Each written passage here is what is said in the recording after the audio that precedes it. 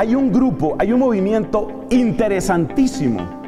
Yo lo voy conociendo cada vez más y me llama la atención especialmente por su éxito con los jóvenes, hombres y mujeres. Ese grupo se llama Lazos de Amor Mariano.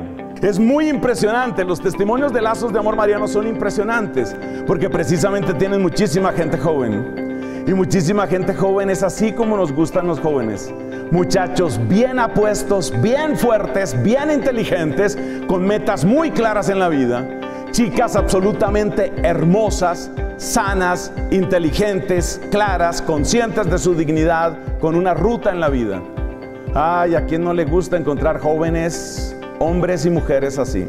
Y una de las claves de la gente de lazos es la propuesta descarada por la castidad. Descarada.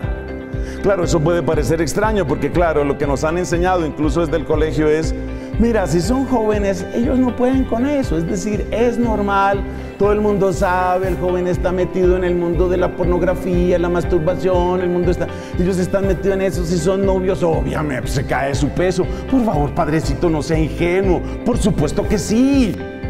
Pues resulta que esta gente, la de Lazos, recogiendo la mejor experiencia de la iglesia, tiene una teoría que yo suscribo completamente y esa teoría es la siguiente.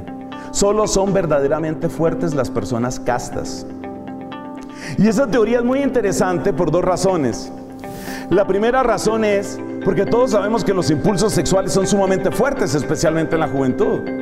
Pero cuando una persona tiene verdadero dominio, no un dominio de represión neurótica, sino verdadero dominio porque hay orden y belleza en su vida.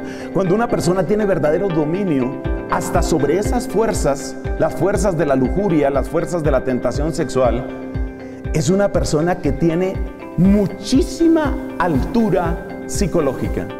Es decir, si tú no eres un neurótico, si no tienes otro tipo de patología, si tú no eres un neurótico y tienes verdadero gobierno sobre tu sexualidad, eres una persona que tiene una altura humana, aquí no estamos hablando de religión en este momento, tienes una altura humana bárbara, bárbara.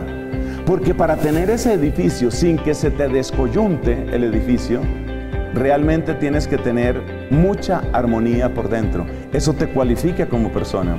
La segunda razón por la que la castidad es la mejor inversión en la juventud, y así lo predican los amigos de Lazos de Amor Mariano, es porque la persona que es casta se cualifica. Y eso vale para los hombres y para las mujeres.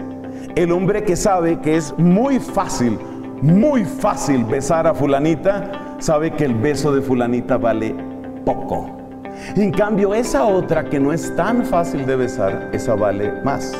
La castidad cualifica. Esa mujer de la cual se desconoce cuántos habrán estado con ella, ha ido perdiendo completamente su valor. Así nos presentan eso como experiencia educativa, pedagógica. Ahora ella sí sabe cómo es la vida sexual. En realidad se ha desvalorizado bastante.